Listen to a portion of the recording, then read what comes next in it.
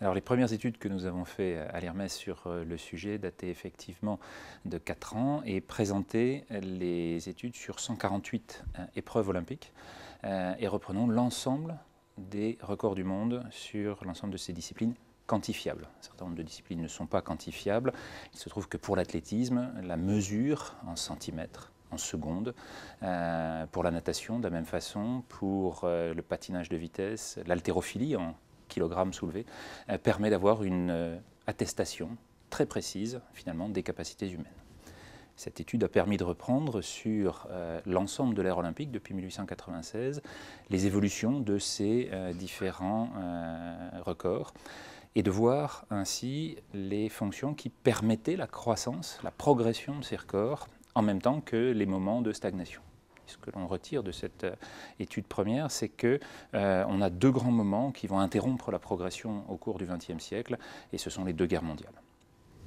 Ensuite, on a eu une deuxième étude qui a porté non plus sur le premier, mais sur les dix premiers qui sont en fait le groupe physiologiquement le plus en avance, dont sera issu le recordman, dont sera issu le champion du monde, dont sera issu euh, la championne olympique. Et à partir de là, on a voulu regarder comment ce groupe-là se comportait par rapport à la valeur première du record. Et on a obtenu les mêmes euh, conclusions, c'est-à-dire que nous arrivons progressivement à une saturation des capacités de croissance de ces euh, optima physiologiques. Et ces valeurs-là nous indiquent qu'il y a depuis 1990 globalement une interruption de la progression depuis donc maintenant plus de 20 ans et pour certaines disciplines encore depuis plus longtemps. Euh, et qui montre qu'on a peut-être euh, atteint les plafonds de ces maxima des capacités humaines. L'idée d'un petit coureur trapu est totalement battue en brèche par l'observation, depuis 1890, de l'augmentation des gabarits de tous les sprinteurs.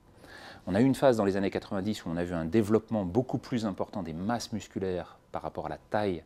du squelette.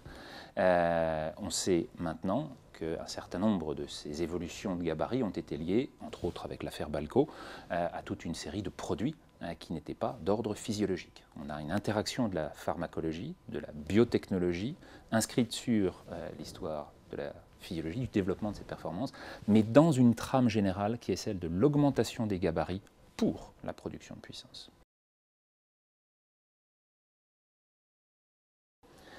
Sur le plan médical, sur le plan nutritionnel, euh, on voit bien que là encore, il y a des optimisations euh, au moment même de l'effort, mais la principale, la principale augmentation, c'est celle de la nutrition des parents, et en particulier de la mère de chacun des athlètes, pendant la croissance fœtale,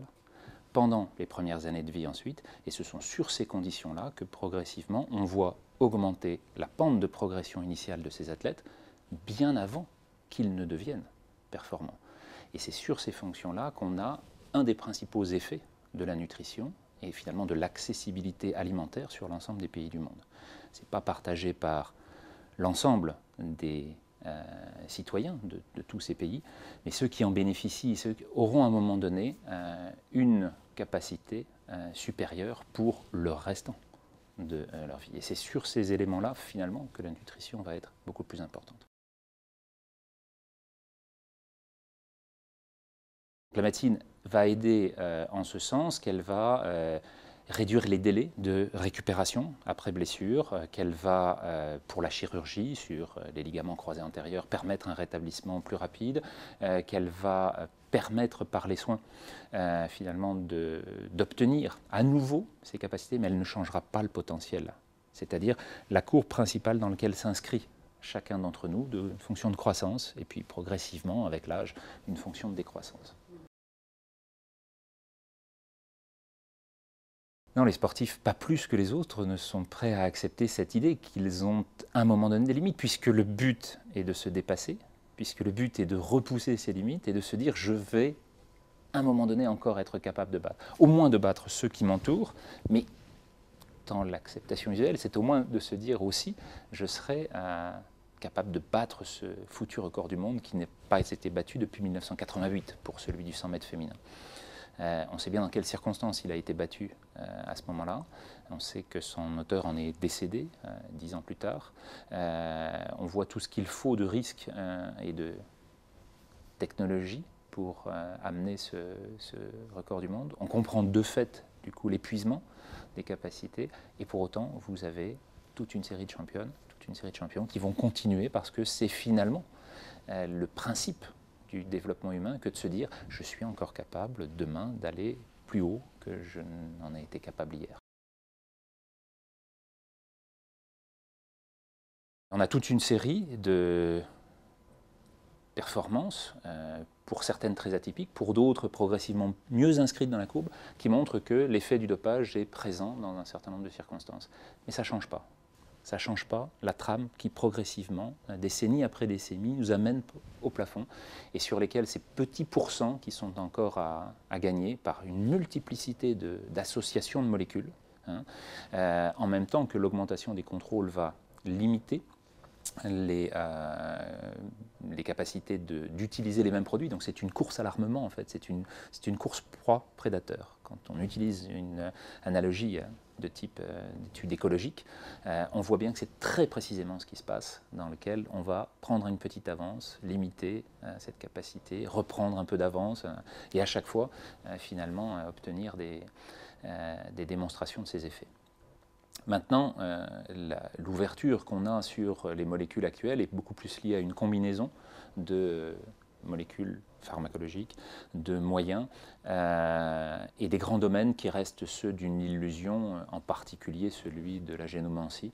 et de ce que l'on croit être euh, finalement l'étape prochaine, le tripotage, le bidouillage génétique dans lequel on ne maîtrise absolument rien euh, et en particulier pour les patients sur lesquels les protocoles actuellement butent pour des effets secondaires extrêmement difficiles à maîtriser.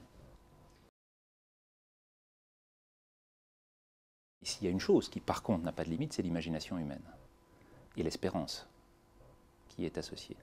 Et en fait, on va avoir ces illusions qui vont progressivement euh, venir à mesure qu'on atteint nos limites. Et nos limites ne sont pas seulement physiologiques. En fait, si on démontre cela sur l'ensemble des euh, événements et des épreuves olympiques, si on le démontre sur l'ensemble des sports concernés, ce n'est pas parce que c'est spécifique du sport. C'est simplement parce que ces plafonds sont illustrés de façon précise par les performances mesurées. Ce sont les mêmes qui sont actuellement en cours dans le monde économique. Ce sont les mêmes sur lesquels vient se poser la question de qu'est-ce qu'une fonction de croissance? Qu'est-ce que finalement le taux de croissance pour un pays, pour son économie, comme pour les individus qui portent cette économie, et en particulier, on le voit là, pour un tout petit secteur, celui du sport. Mais dans les questions de l'évolution, y compris de l'espérance de vie, donc de la durée de vie, Hein, on a les mêmes interrogations actuellement avec les mêmes plafonds qui commencent à apparaître dans certaines régions du monde et sur lesquels même les pays développés, on l'a vu aux États-Unis en 2009, on le voit dans certains lands, euh, des lenders de l'Allemagne de l'ancienne Allemagne de l'Est, dans lesquels on a des régressions qui sont actuellement en cours. Donc on a bien des fonctions qui sont à un moment donné portées par euh, ce déploiement de, ces mesures de, croissance, qui ne sont pas seulement un domaine mathématique euh, abstrait, euh, c'est un moment celui de la contrainte physique dans laquelle se développe une capacité dans un environnement favorable ou non favorable. Et donc c'est là-dessus qu'on va avoir progressivement un certain nombre de questions à résoudre pour les décennies à venir.